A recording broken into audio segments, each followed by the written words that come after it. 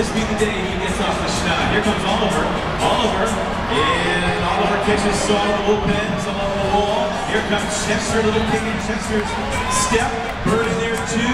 Penny's won the last two. She's trailing. So is Hannah. Here we go. Oliver. and the big O. Hold on. We got Cheese and Saul. Bird 82. Who's it going to be? It will be Oliver Onion to pick up win number 10.